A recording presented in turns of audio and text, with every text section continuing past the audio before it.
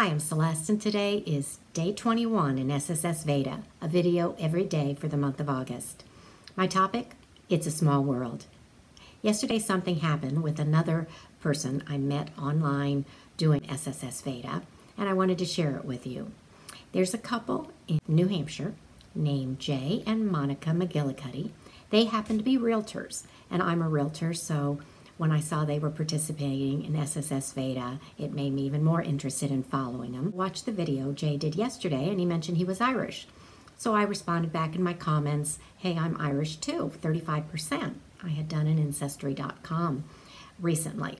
Jay responded back that uh, one of his grandfathers was uh, from County Cork, Ireland, and he had the last name of Mullen.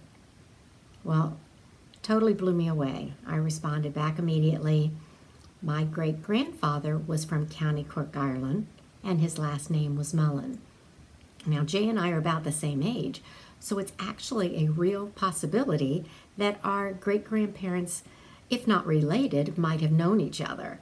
So I thought that was pretty cool. I'll put a link to my video that I did for Ancestry.com in case you guys are interested. I found it fascinating to see how my um, blood DNA results came back. My oldest daughter and my granddaughter, they've done it. My other three daughters are going to be doing it shortly.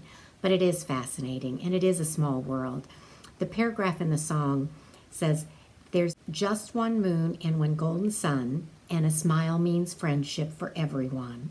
Though the mountains divide and the oceans are wide, it's a small world after all. I'd love to hear if you've any stories of how it's a small world in your world.